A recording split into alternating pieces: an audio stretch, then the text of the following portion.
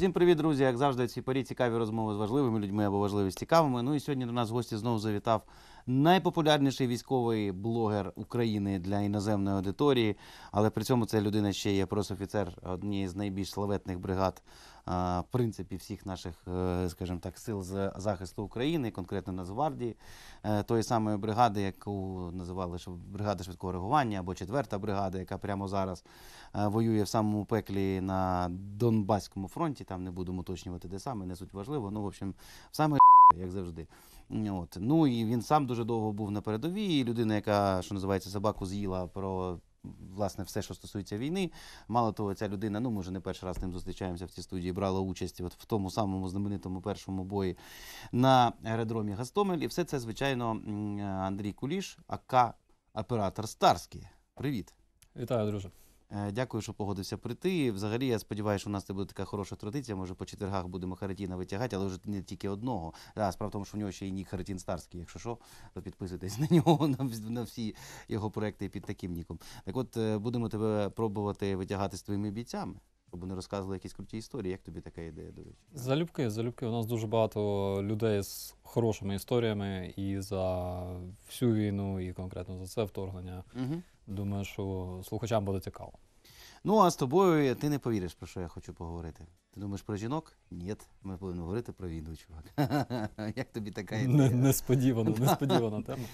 Е, дивись, е, ну я ж кажу, зараз давай спробуємо е, подумати, що ти не, не тільки просто офіцер бригади, а просто дуже досвідчений, хоч і не кадровий, але військовий вже, бо ти з 2000, ну, з кінця 14 року в армії. Відповідно, ну ще не, не 10 років, але вже ну, 8 з гаком, по факту. Е, от. Ну і питання до тебе дуже просте. От як ти вважаєш, е, от якщо так взагалі окинути оком, ти от прийшов і от зараз, що найбільше змінилося в Збройних силах України в цілому, там в твоїй частині, і головне, от що змінилося саме з початку 22, е, ну, з 24 лютого 2022 року?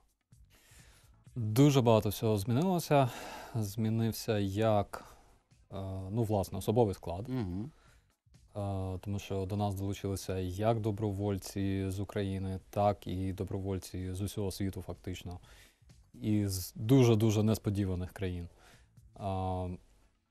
Змінився, ну, власне, і підхід до тренувань, тому що знову ж таки нас зараз готують наші партнери, наші е, союзники з Європи, що дуже-дуже важливо. Е, Тому що хлопці, які там тренуються, вони здобувають ну, колосальний досвід, який, звичайно, будуть застосовувати в боротьбі проти рашистів. Е, Тех, те, техніка, звичайно, змінилася дуже, ну як сказати. У нас з'явилося дуже багато зразків західної техніки. У нас з'явилося дуже багато зразків східної техніки. А у вас, до речі, західна є в бригаді, ну тобто без е, найменування, але от цікаво. Чи... Так, так, так, звичайно. І це от е, набуття останніх кількох місяців, по суті. Так, ну і східна теж. Ну, це В само принципі. собою.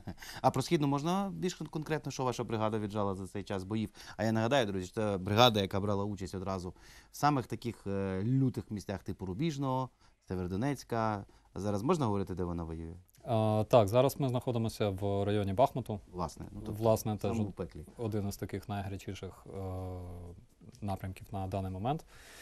Е, ну, хлопці воюють, хлопцям не звикати. В принципі, у нас досвід саме таких найгарячіших боїв, е, починаючи, напевно, року з 17-го, е, коли ми закривали Світлодарський напрямок, Угу. і, і в часі цього вторгнення теж ми закривали і Рубіжне, і Сєвєродонецьк. Угу. Власне, той напрямок Лисичанськ. Зараз це Бахмут. В Бахмуті такі дос- досить складні бої із вагнерівцями. Ну а що стосується техніки, то у нас, е, наскільки я пам'ятаю, були і танчики, і, і БТРи, і Бехи. От, е, нещодавно, до речі, той самий хлопець, який вальнув перші К-52 над Гостовом. Угу. а той самий хлопець над Бахмутом збив Су-25. М, серйозно? Клас, молодчина. Це, це наш боєць, ну, молодець. Ну цього разу він його вже збив, я так розумію, з ПЗРК, звичайно. Е, Ну і того разу теж. М, Цікаво. А, Слухай, ну а я маю на увазі, от як би тобі пояснити, от дивись, в плані от кадрової, ну то що понятно, що армія помінялася само собою. Просто от е, чи вдалося нарешті вибити оцей кошмар, який зовсім донедавна, на жаль, навіть і після 14 року був, що типу, ну військове це таке, типу, ну це не очень, как бы, ну, там, денег немного, вот это вот, ну, короче, що це за робота непонятна, ну, типа, ти що, лох військовим будь. От це пішло вже з українського суспільства, і от по твоїх відчуттях, бо ти це можеш оцінити, як, як не кадровий військовий там з самого початку. Я можу сказати, що пішло дуже е, велика повага з'явилася з боку народу. От, я пам'ятаю, буквально от на днях ми були на похоронах товариша, і е, коли ну, чекали, поки збереться решта групи, то е, підійшла жіночка з дитиною, сказала, ми просто стояли так колом, розмовляли. Вона каже: хлопці, чи можна вас обійняти? І вона по черзі кожного обійняла. От. І ну, раніше таке теж було. Раніше там 2015-2016 роки. Я пам'ятаю, що люди там могли просто підійти десь в автобусі і сказати дякую вам за службу. А, але таких випадків стало набагато більше. Угу. А, ну, звичайно, тому що, на жаль, так сталося, що наші люди е, отримали змогу поближче познайомитися із е, кацапами, е, познайомитися з таким явищем, як рашизм, руський мір і от це все. Е, на жаль. Е, але в цьому є, в принципі, і позитив. Єдиний позитив, власне, який я бачу, це те, що українська нація змогла нарешті об'єднатися. І не лише об'єднатися е, як нація, але і стати трошки, ну я сказав би, знайти знаєш, спільну хвилю із е, рештою світу. Е, з рештою демократичного світу, з демократичними країнами. От я думаю, що на даний момент ми з, е, з рештою от, вільного світу розмовляємо однією тією ж самою мовою. Це дуже цікаво. Ну, окей, давай трошки так е, по актуальних подіях я ж кажу. Мені просто цікаво, щоб е, бо, принципі ми багато разів розказували, вже спілкувалися з тобою там про твої особисті історії. А тут просто цікава твоя думка по дуже широкому спектру питань, які пов'язані з війною. А, ну, найперший момент, е, звичайно, ці от ублюдочні обстріли, які зараз відбуваються, продовжуються нашої інфраструктури. А, з твоєї точки зору, а, Наскільки, ну тобто, дивись, можна, звісно, бравірувати, казати, типу, що все прекрасно, і ми дійсно можемо сказати, що наше ППО це реально боги, вони красавчики, вони ну тут, тут без, без зайвих слів. Але ясно, що ППО не може збити 100% ракет на даному етапі. Те, що ми збиваємо вже 80, це ну. Це фантастика, яка ну, просто, я думаю, там народ сидить в усіх країнах, ні хрена собі. На старих радянських цих в першу чергу збивати такі речі. Це просто фантастика. Але От найголовніше питання: наскільки це може вплинути е, на дві речі: перше на війну, і по-друге, на власне стан тилу. Тому що ну як не крути, з одного боку, здавалось би, який це має стосунок до ЗСУ? Да ніякого. Але ну все-таки ЗСУ це частина народу, і на ЗСУ працює тил. А якщо в тилу починають зупинятися підприємства через світло, якщо там якась деморалізація, це теж впливає, розумієш? З іншого боку, люди в тилу, ну. Я думаю, нікому не треба пояснювати в місті Києві і так далі. Що таке, коли у тебе нема там по 10-12 більших е, годин на добу світла, ну це дуже некомфортно. І справа навіть не якихось побутових речах, а в тому, що просто банально тобі складно працювати. А, то все-таки з твоєї точки зору, чи може це поламати хід війни? Ну, хо- Хочу, до речі, звернути увагу на ППО, те, що ти казав, взагалі, наскільки е, унікальне явище, коли е, оці от старі радянські системи працюють у зв'язці в Да, одній да. системі з е, суперсучасними. Типу Iris-T, NASAMS. Це, це просто щось таке, чого раніше в світі не було. Угу. От, як бачимо, що працює досить ефективно. Хоча, звичайно, що хотілося б ще, тому що у нас скільки 25 регіонів, і в кожному регіоні має стояти по такій установці. По назамсу одному. По NASAMS або по Iris. А, що стосується відключень світла, ну е, знову ж таки, е, так, на ЗСУ, які стоять на фронті, це взагалі, ну я сказав би, не впливає стосовно от бойового духу, стосовно там якогось забезпечення. Ну, е, військовим на фронті не потрібна електрика, нам потрібно генератори, нам потрібно пальне. Фактично. Ну, ви звикли. Тому- Вже звикли, що так люди живуть. Там, А. як там написав один мій знайомий, я вибач, що переб'ю, просто там не буду казати частину. А, і він просто в коментарі прийшов, до, там, де одна людина, ну дуже там, знаєш, там фу, ужас, як жить, кошмар, все, ми умрем. Сьогодні два часа у мене вже нет света. Е, він їй пише: Мадам, у нас, в принципі, якщо дві години на добу є світло, це ок. Ви як-то там попустіть чуть-чуть, или як? Вибачте. Ні, ну так і є, так і є. Пару годин для того, щоб там зарядити е, мобільник або там, не знаю. А, якусь там зарядку. Полаєтесь в Фейсбуці з кимось і піти далі спати. Да. Да, да, бо е, на фронті зазвичай так є. Ти там заходиш, якщо у тебе пару вільних хвилин є, або перед сном, то ти там ліг, е, зайшов, передав привіт своїм, або щось написав. Якщо старлінки. якщо є Starlink, якщо в принципі ловить, да. А, що, може не ловить старлінк? ну, не Starlink, але. е, що стосується тилу, то е, ну, якщо говорити про забезпечення, якщо, наприклад, говорити про виробництво БК, то у нас в основному БК це Мгм. те, що нам поставляють наші союзники. Да? Е, Якщо говорити про артилерію, якщо говорити там навіть про стрілецьку зброю, е, яка у нас стріляє, або е, патронами, які передали там з інших країн, там Болгарія, Чехія і тому подібне. Або е, якщо говорити про зброю натівського зразку, як, яку нам все рівно, ну скажімо так, спонсують да, наші союзники. Ем, ну, я, я б не сказав, що Збройні сили від цього постраждають. Навпаки, якщо порівняти, е, наприклад, от яким чином ракети і артилерію використовують Кацапи, яким чином використовуємо ми, то різниця колосальна, тому що вони гатять е, знову ж таки з дуже низьким е, результатом. Угу. Гатять по цивільним об'єктам в основному, влучаючи там і в цивільні будинки, які взагалі от з військової ти, Ти точки. бачив це відео? Так, так, Я так. просто тобто, там не те, що підприємство поруч, нема. куди ви тварі б'єте? Суп. Ну, це, це, це так і є. Вони е, цілять по взагалі українським їм по барабану, чи вони цивільні, чи вони військові. і Це просто геноцид. Так вони вже, ти бачив вже оцінки там і розвідки британської, всі вже прямо всі говорять, що по великому рахунку вони вже перейшли з ударів по військових об'єктах, по ударах по цивільних. Зараз це там разота. От сьогодні буквально там. От я не знаю, як це словом назвати. Ротом це назвати складно. І пе- а пелькою надто красиво літературно. Е, Таким, знаєш, пекельним отвором блюдка на прізвище Пісков заявила, що це і ми отак от і спонукаємо Україну до перемовин, нахабно дивлячись в очі. Я, я чесно, я, я таких нахабних уродів, я чесно. Ладно, от я знаєш, правильно про них Лесь Подерев'янський сказав, стикливий нацизм. От ідеальне визначення. Я не знаю, як можна по-іншому назвати. Пробач, що перебив. Сто ну. процентів він дуже класно це описав, до речі. Абсолютно з ним погоджуюся. І е, вони ж вже власне це і не приховують. Вони вже досить тривалий час розповідають про те, що от е, треба наносити удари там по мостам, по, по цивільним структурам. Е, є, насправді це ну, з одного боку і добре, тому що, от знаєш, буває так, коли ти брешеш все своє життя, Мгм. то все-таки рано чи пізно наступає момент, коли ти ну, от починаєш говорити правду невеличкими дозами. Пам'ятаєш, як е, Путін колись е, казав, що от попереду будуть стоять жінки, а наші солдати Так, так будуть прикриватися. Ну, так, так же ж і є. Або, або коли Сіманян, е, здається, Сіманян так, казала, що от е, свобода слова загрожує російській державності. Ну, знову ж таки, да, тобто можна багато там брехати про свободу слова і про те, як вольно дишить чоловік в Росії, але mm -hmm. зрештою, все-таки оця от їхня суть вилізла назовні.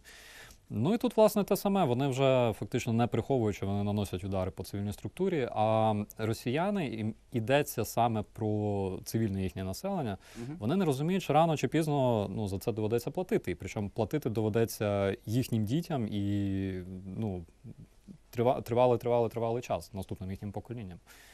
А, рано чи пізно настане момент, коли вони це зрозуміють. Мгм. І буде пізно. Сподіваюсь. Слухай, ну окей, давай, от е, знову ж таки, щоб трошки актуальненько, давай таке зробимо. Ну, от, може, з того, що ти можеш публічно говорити, бо я впевнений, все одно, що ти як військовий багато що знаєш, ну не скажеш, звісно, але тим не менше.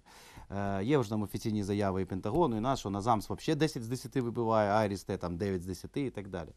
Е, от оціни, будь ласка, у нас Рамштайн вчора був. Ну, про нові назамси поки мова не йде, але нам вроді як шведи щось передають ППОшне. Мова йшла про те, що поляки нам передають легкі е, зенітні засоби. Ну, я так підозрюю, що це мова йде про Пірун. Е, тобто про ну, як сказати, імпровізовану радянську іглу. Е, і от іспанці нам ще і ще передають хоуки. Оці американські хоуки. Розкажи, будь ласка, наскільки це ефективна система е, і чим вона може допомогти? Бо я там уже зустрічав, знаєш, е, такі зрадофійські коментарі. Да ви посмотрите, це какая-то херня на колесиках, три какие-то ракети, у нього, вони не похожі, на, вони, це какое-то старье нам сливають. Це хороша річ чи ні? Чи може дійсно нас сливають, це все там, типа, зачем воно нам надо, і от це все. Порівняно з С-300, це непогана річ. Е, Звичайно, вона не суперновітня, хоча я знаю, що е, ці от ракети Хок вони там моде- модернізувалися з часом, звичайно ж. Тобто їхні характеристики покращувалися. І е, ну, от не, не треба зараз дивитися, якого там вони року виробництва. Нам, нам потрібно все, фактично. І чим більше, тим краще. Тому що.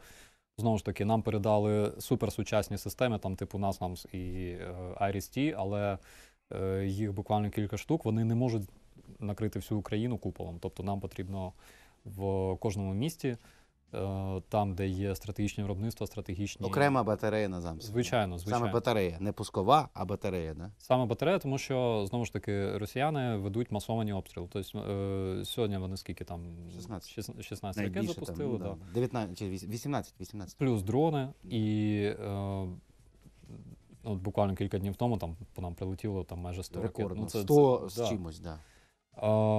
Тобто ми бачимо, що атаки йдуть масовані.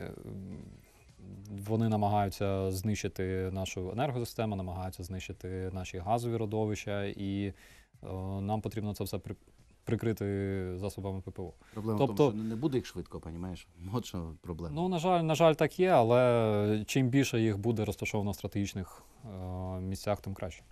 Я так розумію, що Хоук це, це об'єктове ППО, якраз таке, яке просто стоїть от якраз біля якогось об'єкту і збиває все, що до неї долітає. Правильно розумію? Тобто не, бой, не поля бою, скоріше, а саме от таке об'єктове ППО. Е, ну, я не фахівець, не фахівець зенітки, я в своєму житті збив тільки дрони, то наш. Але Чи ж е, так любиш ти про це розказувати? Не кожен може збити дрон з автомата, да. От, е, але з того, що ми чули, з того, що ми аналізували, то в принципі система досить ефективна.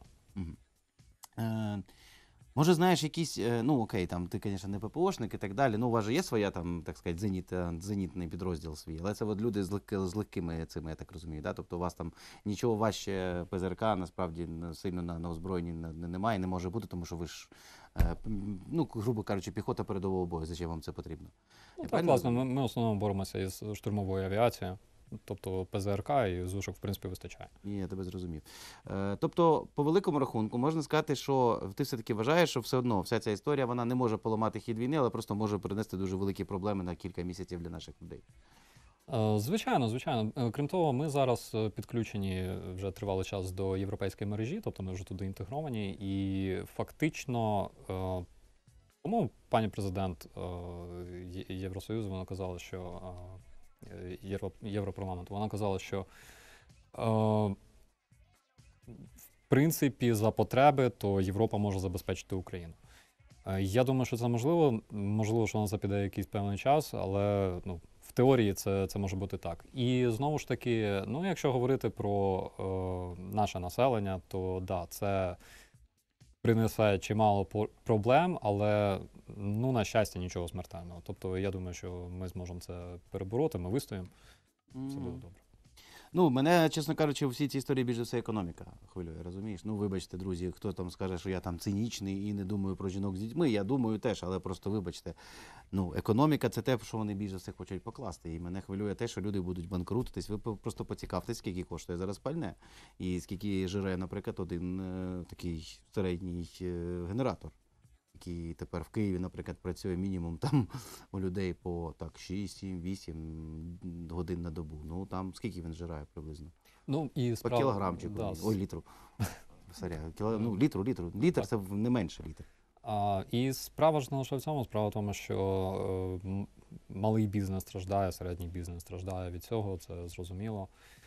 А, ну, але будемо сподіватися, що все буде окей. Зрештою, вже е, наше керівництво держави оголосили і про створення фонду відбудови України. Можливо, що буде якась допомога і бізнесу, я в цьому переконаний. Е, Тим більше. Тому я думаю, що вистоїмо і переможемо.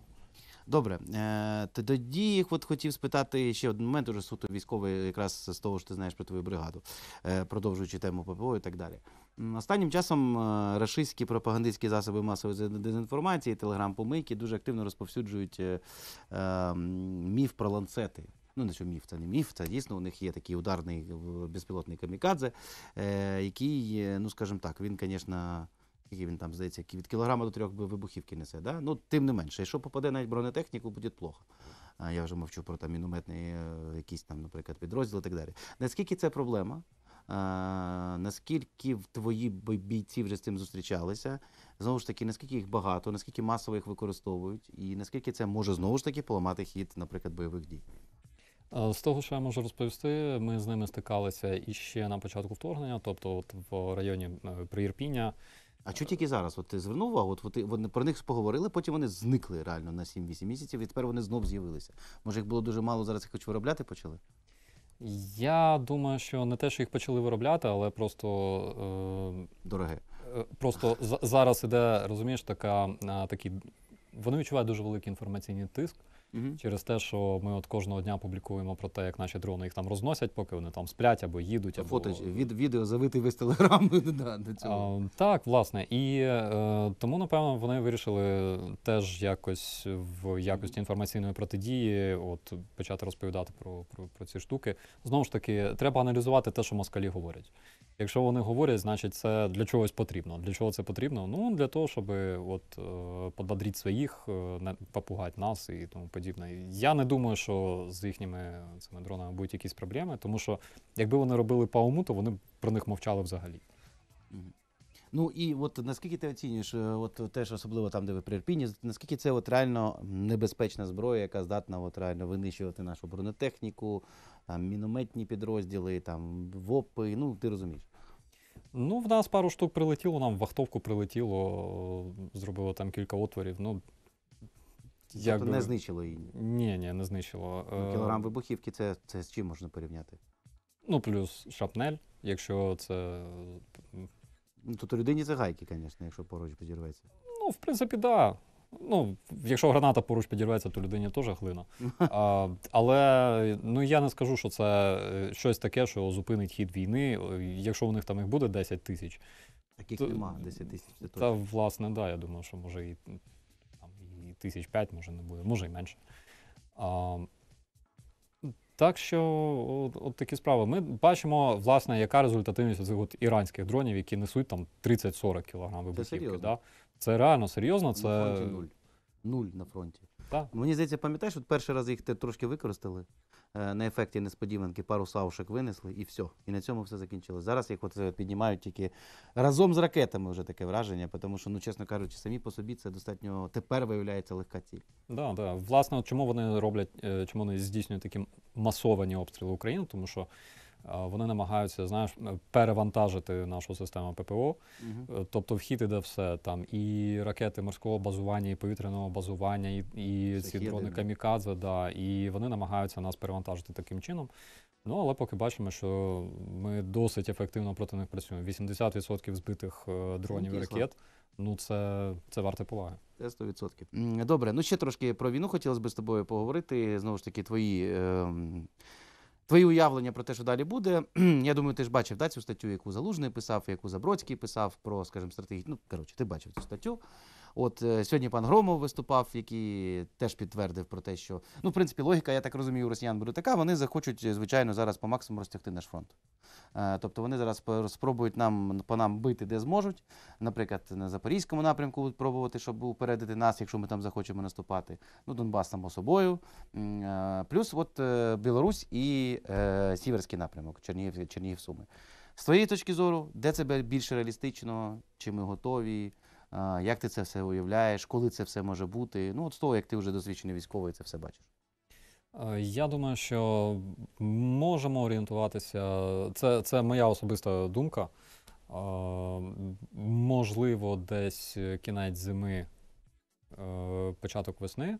Ну, так, цього року, фактично. Угу. Можемо також очікувати і е, наступ, е, наступу з Білорусі. Знову ж таки, це моя особиста думка, але е, відслідковуючи те, як вони зараз розбудовують цю авіабазу в Зябрівці, з величезною кількістю ППО, яку вони там поставили от за цей місяць е, системи С-300. Тобто зрозуміло, що вони, скоріше за все, будуть використовувати цю авіабазу як е, повітряний міст із Росією. І, можливо, вони планують саме через е, Зябровку е, переправляти свої війська. Ну, Зябровка це на, на, напроти Київської області взагалі виходить більше, правильно?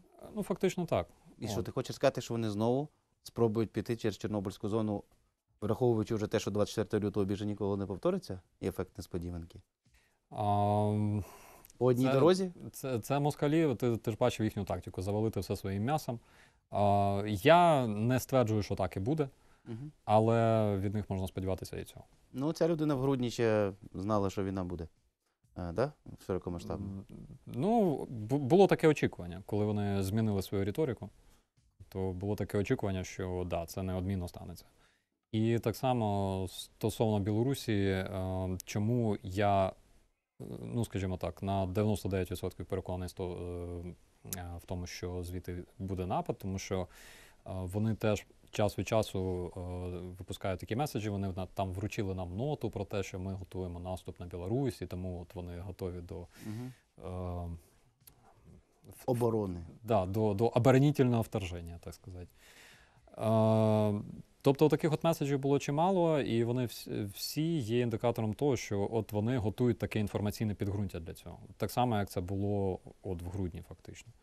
А, тому будемо дивитися. З іншого боку, я думаю, що можливо, все-таки знаєш, небезпека почнеться тоді, коли Білорусь нарешті скаже, що от все, ми, типа, бачимо, що Україна там Вони е, анексують. А? Вони анексують.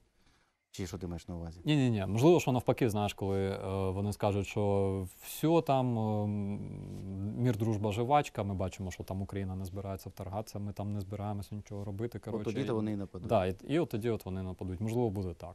Слухай, а ну давай так об'єктивно говорити. Ну тобто, це ніякі там невеликі вже стратегічні новини. Всі прекрасно розуміють. Хто не розуміє, відкрийте карту, подивіться. Що по великому рахунку е, від Ковеля до ну, власне, Чорнобильської зони. Ну, хорошо, давай її теж включимо, і Київську область, аж до Чернігівської області, і десь чотири дороги. Так. Все.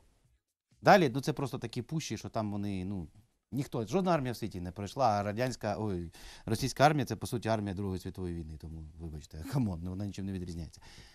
І що? Який смисл? Ну, тобто, єдиний смисл, який я бачу, це пробувати Рівненську АЕС мочити. Що ще? Перерізати дорогу Київ-Луцьк чи що? Ну, я, ну, Варшавку, в смислі, ну вони ж не дійдуть туди. Да, е, це один з варіантів. Е, Можливо, вони захочуть зайти на територію е, суто з метою відволікти нашу увагу, відтягнути наші резерви. Е, Їм може і не обов'язково захоплювати ту ж саму там Рівненську АЕС. Просто обстрілювати її. Так. Ну, а якщо ми підемо на територію Білорусі, відповідь? А то ж мім Бобруйськ. Було б неплохо, да? Ну, я, на жаль, не можу сказати тобі зі свого рівня. Мгм. От, е, на мою думку, це було би недоречно, тому що знову ж таки нам необхідні відповідні сили, Мгм. з якими ми можемо здійснювати таку операцію. Нам е, необхідно буде створити від, відповідний фронт.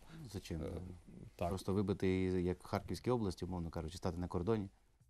А, може бути так. Е, ну, будемо бачити, скажімо так. Я не генерал, тому зі свого рівня. Як тобі план, який Забродський описав, що от у них знову очередной большой Сатурн, вони хочуть, значить, Сумської області вдарити, Запорізької області і знову, значить, обрізати, грубо кажучи, вже тепер всі наші угрупування і на Харківщині, і на Донеччині, і на Луганщині, і так далі. Наскільки ти реалістичним бачиш такі вірогідність такого сценарію? Я думаю, що вони можуть спробувати це зробити, тим більше, що про це вже раніше говорилося, і я от можу точно сказати іще е, закордонні оглядачі, скажімо так, Мгм. західні оглядачі про це говорили ще, напевно, пару місяців тому. Е, тобто, якщо з різних джерел лунає така інформація, ну, така аналітика подібного плану, то вони можуть спробувати це зробити. Чесно кажучи, е,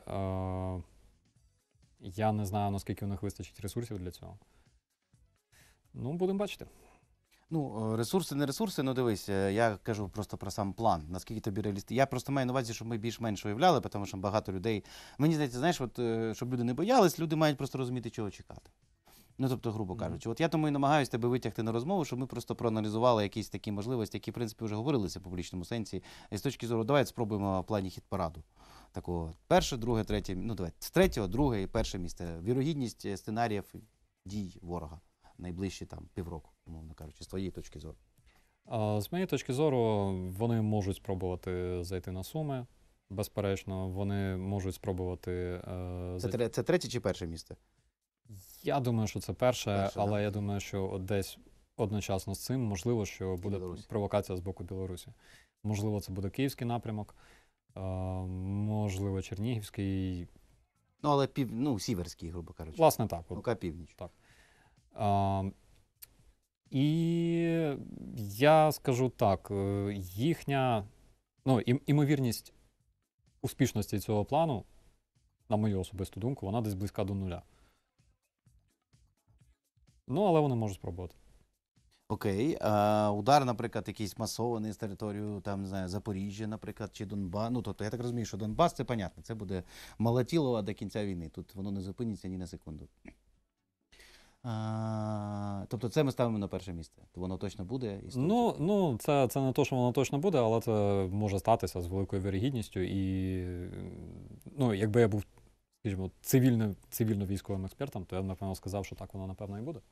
Запоріжжя. А, да, тобто Запоріжжя, Суми і одночасний, да, і одночасна провокація з боку Білорусі. Знову ж таки, ми бачимо, що вони досить активно обстрілюють Запоріжжя. а, І з допомогою дальнобійної артилерії, ракетами, і авіацією. Так що вони в цьому напрямку теж проводять підготовку. Зрозумів. Ну, про наші дії, напевно, говорити не будемо, тому що зачем, як говориться, людям дарувати ідей. Я думаю, ну, це у нас є кому подумати про це, і це точно в даному випадку не ми можемо поза ефіром про це хіба що подумати. Е, єдине, я от хотів спитати, як тобі здається, от свого часу, коли ми з тобою попередній раз так спілкувалися, ми якраз з тобою абсолютно правильно, до речі, обидва прийшли до висновку, що ну, тоді ми з тобою говорили, здається, в липні місяці, що зараз починається така битва за ініціативу, таку, знаєш, у війні. І по факту українська армія наголову виграла. Наголову. Тому що зараз ми, по суті, нав'язуємо сценарії війни ну, сухопутної а, Росії. Чи вдасться українській армії це втримати, як тобі здається? Я думаю, безперечно вдасться. А, якщо ми не дамо росіянам достатньо часу для того, щоб перегрупуватися, налагодити їхню логістику, підготувати їхні війська, підтягнути їхні там додаткові резерви, то у нас е, буде залишатися абсолютна перевага в цьому плані. І я думаю, що ми будемо продовжувати працювати. Ну, от е, спитаю все-таки, не можу себе не повідчувати якимось таким диванним експертом і не спитати. Не, тобі не здається все одно, що знову одною з головних точок війни буде Северодонецьк? Я думаю, так. Може бути. Е, Скажімо, е, наші хлопці, от моя бригада, яка е, тримала цей напрямок впродовж чотирьох місяців, ми відійшли із Сєвєродонецьку, тому що там уже фактично не було де зачепитися. Там не було що захищати, бо фактично це все місто було тобто, Стерто. стерте з лиця землі їхньою артилерією, А авіацією. до того рубіжне, да. Так. А, до того так само вони зробили з Рубіжним. Тобто ці два населені пункти, вони от фактично є тільки на карті зараз. Фізично там нічого нема. А, я думаю, що їм же ж так само буде складно втримати оці от, е, руїни, Руїни? Я, як власне і було нам. Угу. Це якщо, звісно, у нас. е, Ми ж воюємо не так, як вони. Вони ж досі воюють, я так розумію. У них єдиний спосіб війни це просто масована артилерійська долбьошка. Не дуже точно, але просто по максимуму не завалить. І далі що? Ну, раб, Мало... ра- работаємо по площадям, як вони там кажуть. Мгм. І це нічого, і це не змінюється. Тобто ти хочеш сказати, у них абсолютно і ні- ніякої тактики, там вагнеровці, ви ж з ними зустрічалися багато разів в боях. А вони ну, кажуть, що це більш підготовлені. Ну я не про це зачню, там, там де петушиная бригада. Друзі, якщо ви думаєте, що я приколююсь, я не жартую. Вчора Пригожин розмістив пост і написав: ребята, у нас тут дилемма. Мы понимаем, что в условиях войны мы не можем там отдельно делать мужицкую бригаду, там черное этот или петушиную пулеметный расчет. И тут возникает дилемма. Вот если лежит гребень раненый, то ты можешь его, короче, перевязать или нет. Поэтому мы петухов, ЧВК Вагнера не берем. Я не жартую, чувак, серйозно. Я тобі я не жартую, ти можеш це знайти реально, ну, це написано. Поэтому, говорит, мы чив- петухов ЧВК Вагнера не берем. И вообще, но при этом я считаю, что из петухов должна быть сформирована отдельная бригада, которая реально удивит всех боеспособностью. О, я люблю цей вираз обличчя. Ти не бачив цієї заяви, да, товариша я- можливо, так. Да, можливо, що вона якось пройшла повз мене, але. Я не жартую зараз, серйозно. Це, це, це, звісно, дуже круто. Пітишина пулеметна бригада, ПББ, да? Ні, я, я не жартую, друже. Так Ні. от вони, вагнерівці. Вагнерівці, ну скажімо так, там є люди е, з досвідом роботи в тій ж самій Сирії, наприклад.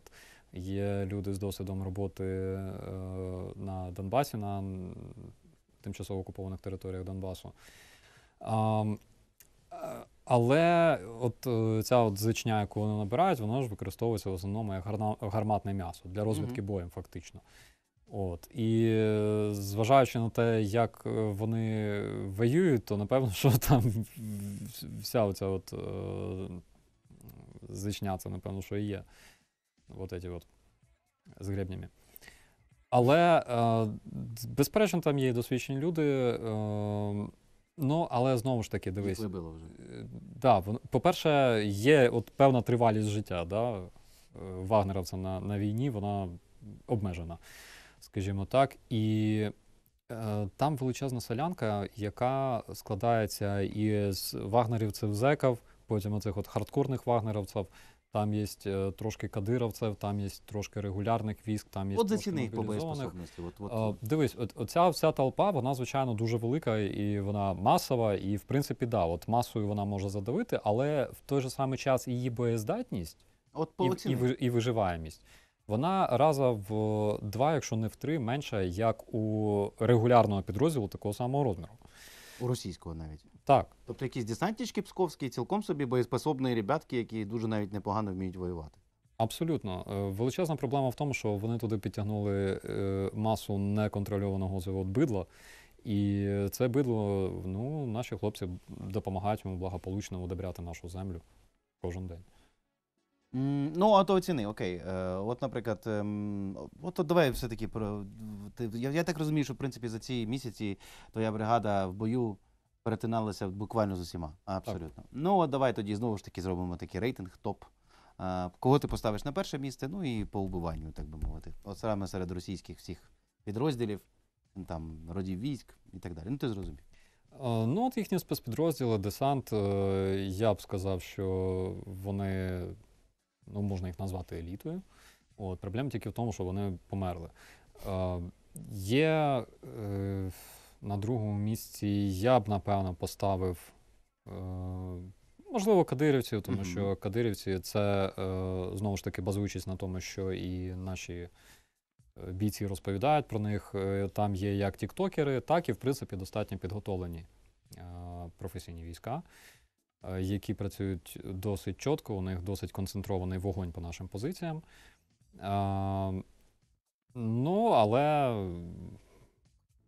вони так само помирають, як і, як і решта. Ну, Е, Є, ну, про тіктокерів я взагалі мовчу, тому що їх дуже складно побачити на- передовій. тобто вони не воюють на передовій. Зазвичай ні. От як наша е, сержант Джейн розповідала з того ж самого Рубіжного, каже, що да, заходять кадирівці, е, працюють е, ну так достатньо е, професійно, да, то, тобто вони не е, розгалужують вогонь, да, вони його концентрують на позиції, яку потрібно подавити, вони, один одного прикривають, тобто там вони працюють досить чотенько.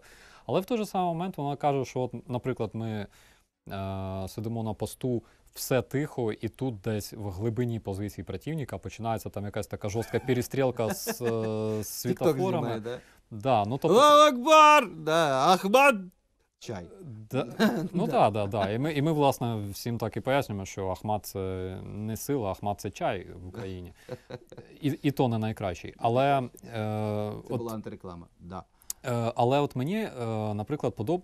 мені дуже подобається їхні відео, особливо там, де вони помирають. Тому що от, ці, от, знаєш, їхні самі успішні відоси, які кадирівці роблять, це от зазвичай там. е, Причому вони набирають якраз от більше переглядів за все. Це от коли там вони йдуть там десь на задання чи задання. Тинч? Тут, да, тинч внезапно прилітає, і от. І вже Ахмат не совсем і сила, да? І, чай. і от. Ем, тому от, такі речі, да. Е, що стосується. Це такі вагнерівці. Мене вони цікавлять чому, тому що про них багато пишуть, що ті вагнерівці, які починали ці бої, десь які, на жаль, були цілком ефективними, які забезпечили, наприклад, взяття Попасної, а, там прориви, наприклад, е, по трасі Бахмут-Лисичанськ. Ну і ті, що зараз, це вже зовсім інша історія. Тобто там уже от ці от під пулеметно-петушині бригади. Так чи це чи ні? От що твої хлопці зараз розказують? Які зараз саме в пеклі? Дивись, дуже, дуже просте питання. Для чого вони набирають зичню? Бо що вже інших нема. Вот. Ну, але зеки теж різні бувають, знаєш. Це що таке зек? Зек це просто ну, людина, яка там попала в в'язничку, може, це теж був колишній там, там Рембо. Ну, може і так, ну але в основному це злочинці, які абсолютно недисципліновані. І, е, ну, чесно кажучи, якщо вони набирають масово е, от, от таких от людей да, із місць е, позбавлення волі, то це означає, що е, якість їхнього підрозділу дуже дуже сильно падає. Мгм. І тому, якщо вони були в меншості, але більш ефективні раніше, то зараз, за рахунок того, що вони набирають велику кількість зичні, яка там просто лягає, е, це свідчить тільки про те, що якість їхнього підрозділу, ефективність їхнього підрозділу дуже-дуже сильно падає. От, тому знову ж таки, тут питання не в тому, що вони ремба, спецнази, от це все. Тут питання в тому, просто що їх багато. Мгм, Зрозумів. А от знову ж таки, ну, розкажи, будь ласка, зараз про бої на Бахмуті. Тобто, ну от як вони відбуваються, тобто, з чим ти їх можеш порівняти? От, з якими боями в історії людства? Якісь речі, які твої хлопці розказують. Ну, тобто, я думаю, зовсім там за тиждень Харетін прийде в гості з конкретними цими людьми. Ми запросимо і людей з батальйону Свобода, і ну, які зараз є частиною цієї е, славетної бригади. Коротше, от, ну от розкажи, що хлопці розказують, як це виглядає, тому що всі, хто хоч трошки розуміє, що таке війна, розуміють, що Бахмут, ну це, як пише там деякі бійці, це наш вердет. Да, все виглядає наступним чином. Від, від, е, початок атаки це коли е, оця от толпа, непонятно кого, з, з двома-трьома магазинами набоїв, максимум. Серйозно? Да, он- ну, у них там досить небагато набоїв, е, небагато БК взагалі, от у власне цієї першої хвилі. Тобто ця, е, ці зеки йдуть в першій хвилі в атаку, вони наступають на наші позиції. Як? А, Не кажи, що сипочка і скільки мура. та ну ні, ну у них, звичайно, якась базова підготовка є, але що таке базова підготовка? Її треба катати місяця чотири, да, для того, щоб. Бронетехніка у них є в першій лінії? А, в першій лінії бронетехніки немає, наступає піхота. Просто наступає. ї- їх може, звичайно, підтримувати там танки, можуть підтримувати е, БМД, їхні БМП. Але е, основна задача оцих от чуваків це, е, скажімо так, загинути на полі бою від нашого вогню, щоб ми розкрили наші вогневі позиції. І вже тоді по цим вогневим позиціям вже е, їхні там дрончики починають координувати е, артилерію, починають координувати техніку, танки. І вже після цього е, штурмовики їхні намагаються от іти вже в- нормальну атаку, вже більш професійно, вони там прикривають одне Ну, штрафбати, це та сама історія. Абсолютно. От, е, я не скажу, що ці, е, що ці е, вагнеровці, які гинуть в першій хвилі, що вони абсолютно безполезні, тому що вони теж, на жаль, стріляють. Але в основному вони гинуть в величезній кількості. Е, От, от приблизно так от це відбувається. Е, але, ну, незважаючи на те, що вони ведуть такий досить е, масований, знову ж таки, вогонь. Ну, скільки їх може бути в одній атаці приблизно, от кількості? Ну, багато може бути Кілька сотень. Да? Кі- е, Рота, ротно-баталічна, е, ротно-тактична група зазвичай, я б сказав так. Тобто це, Це, це, це, от власне от перше. пару сотень людей, е, кілька коробочок, Да, щось таке. і це на, на один ВОП. Е, Це, це може бути на е, один ВОП, може бути на ділянку. Тобто, якщо у них стоїть завдання е, розкрити наш край оборони, визначити наші вогневі засоби, то вони можуть е, там досить широким фронтом наступати одночасно. Угу. Е, ну, не розкриваючи якихось тактичних супер е, речей, як ми цьому протистоїмо? На, на, скажімо так, з точки зору тактики. Ми вже знайшли, от як боротися з цим дір. Ну, з точки зору тактики, скажімо так, у нас там зараз е, комбіновано е, дуже ефективно працює і наша піхота з бронетехнікою, і наші е, міжні підрозділи, і авіація там трошки допомагає. Так що, в принципі, ми той напрямок тримаємо, незважаючи на ці от постійні спроби штурму, ми відбиваємо в день по кілька атак. В принципі, в принципі, тримаємося. Звичайно, на жаль, слід пам'ятати, що і наші герої теж там складають своє життя, але ворога гине ну просто немірено багато порівняно з нашим. Як там суровіки не все, на одного російського солдата гине вісім українських. Я завжди от не втомлююсь сказати, коли ви чуєте, що російська мерзота щось говорить про нас, просто знайте, це тупо, от, вони насправді говорять про себе, але намагаються це прикласти на нас. От це прям працює залізна ця історія завжди в усіх моментах. Я, я б сказав так, коли от вони називають якісь цифри, да, там, е, скільки там загинуло українців, збито дронів, там от це все, Мгм. то в принципі ці цифри досить точні, якщо їх поділити на 10. От плюс-мінус, да, ну тільки треба ділити на 10. Я, я серйозно, без жартів. А, от зараз буде дуже неприємне запитання. Можеш на нього не відповідати, звичайно, і я б на твоєму місці як е, прес-секретаря точно не відповідав. Але ну, я не можу не спитати. А, ну, хто такий Маркус Мілі, ти прекрасно знаєш. Е, по суті, аналог нашого керівника Генштабу. Ну, який е, зробив кілька заяв, які там не дуже приємні українському вуху. Перше звучало про те, що типу треба домовлятися з Росією, поки є така політична можливість. Ну він потім пояснив і в принципі правильно пояснив, що я що я маю на увазі. Я маю на увазі, дивіться, зараз українська армія наступає, е, вона диктує російській армії свою мову, тому краще домовлятися зараз.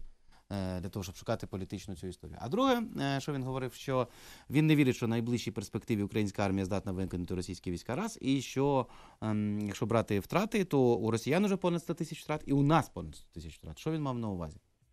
Я думаю, якщо врахувати наше цивільне населення, яке загинуло від російських обстрілів, можливо, ця цифра десь і буде близька до реальної. Мгм. Тому що ми бачимо, скільки людей загинуло В Маріуполі.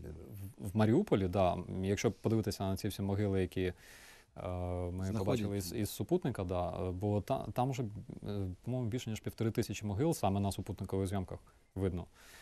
А, і ми ще дуже-дуже багато всього не знаємо. Крім того, ми не знаємо, скільки е, людей е, загинуло там в ну, от, не- неконтрольованій території, да, там Донецька, Луганська область, е, скільки вони там убили да, місцевого населення, проукраїнського населення. Тобто такі речі вони будуть з'являтися. На жаль, я чув, що і в Херсоні вже знайшли катівню. Да. А, тобто, да, на жаль, ми ці могили будемо, будемо продовжувати знаходити. Для мене це не секрет, але ну, так є.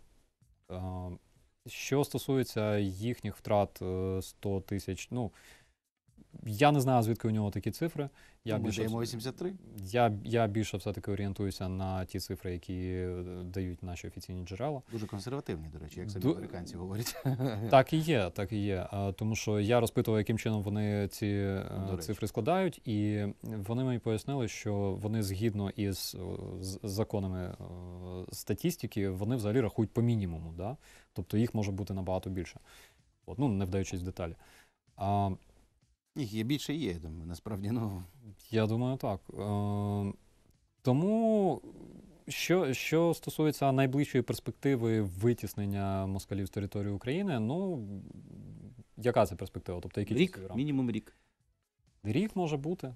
Я думаю, якщо врахувати е, успіх наших контратак там в Харкові, е, В Херсоні. в Херсоні, звичайно, то да, ну може бути.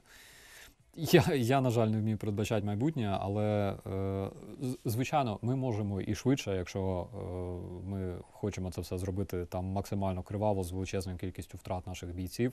Але ми так не робимо. Ми робимо все зараз по уму. От, все максимально чітко, виважено. Тож бачу, навіть е, що стосується Херсону, ми там не летіли сламя голову в атаку. Ми дуже обережно туди зайшли, вже коли Кацапи звідти вийшли. От. Е, Ну, Хоча, хоча за місяць до цього Кацапи по всім своїм медіа кричали, що от ми, ми покидаємо Херсон, ми там евакуюємо всіх. І можливо, що саме в цей момент вони очікували, що ми ламанемося вперед, вони нас візьмуть там в якийсь котел. ну, когось вони почали вже відводити з іншого боку. Це теж треба визнати. Ну так. Вони змогли відійти більш-менш. Тому так, от е, ми робимо все дуже чітко. Знову ж таки, слід пам'ятати, що нам дуже сильно доп- допомагає західна розвідка Угу. і, і їхні фахівці, які також мають великий досвід, великі знання. Тому я думаю, що у Кацапів в цьому плані шансу, шансів абсолютно немає. Е, скільки це займе по часу, ну я думаю, що все залежить від е, того, наскільки наші партнери будуть нам допомагати саме от, е, засобами ППО, засобами артилерії. Е, Звичайно, ППО також важливо і на фронті, тому що працює штурмова авіація досить щільно, я б сказав, і досить, досить щільно гине в той же самий час. Тому все залежить от саме від, від допомоги наших партнерів, е, наскільки вона буде продовжуватися, наскільки Мгм, ця е, тематика допомоги Україні буде актуальною. Тому що як би там не було, але е, ми працюємо у зв'язці із, із нашими партнерами. Це, це дуже дуже важливо. А, плюс до того, наші хлопці, які зараз проходять навчання е, за кордоном, Десятки тисяч. їх десятки тисяч, і на їхню підготовку йде час, це можуть бути місяці. Тобто, поки вони не прийдуть через цю підготовку, вони не зможуть брати участь в бойових діях, тому на це також потрібен час. От тому, друзі, читайте статтю Забродського, де якраз і написано, що наше головне завдання випередити росіян в ініціативі і розгортанні. Далі зробіть висновки з того, що щойно сказав Андрій. От. е, Хто хотів, той почує. Андрій Куліш, пресофіцер бригади швидкого реагування Нацгвардії, а також найпопулярніший військовий блогер країни оператор Старський. Підписуйтесь на його канал. Побачимось, почуємось.